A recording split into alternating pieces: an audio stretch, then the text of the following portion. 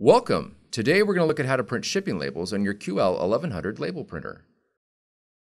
This video will cover multiple models and operating systems. Even though your machine may not match the model referred to on the screen, the overall process will be the same. Before beginning, please verify that Adobe Acrobat Reader is installed on your computer. To download Acrobat Reader, follow the link in the description. Most prominent shipping service applications format their labels for standard letter size printers.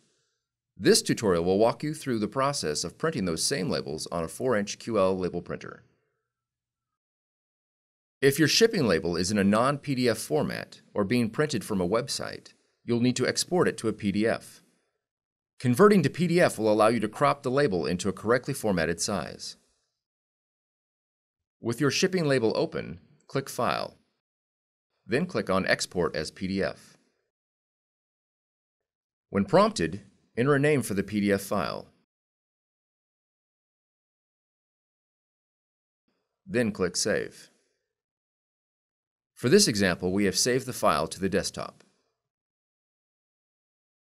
Open the PDF label with Acrobat Reader. Once the label opens, click Edit.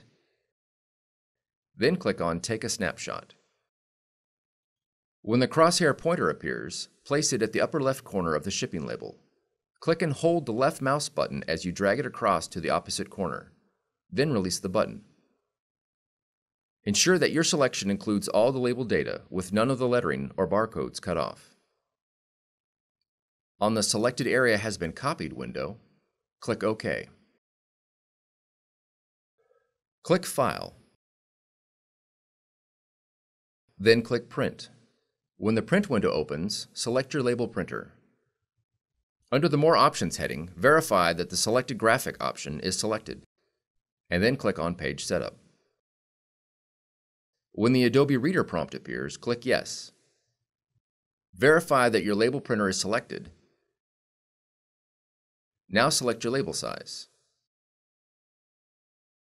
Verify landscape orientation, and then click OK. Look at the print preview and double check that all shipping information and barcodes are intact. Then click Print. Your shipping label will now print. For more tutorials, FAQs, and videos, visit us at www.brother-usa.com. If you found this video helpful, be sure to subscribe. Thank you for choosing Brother.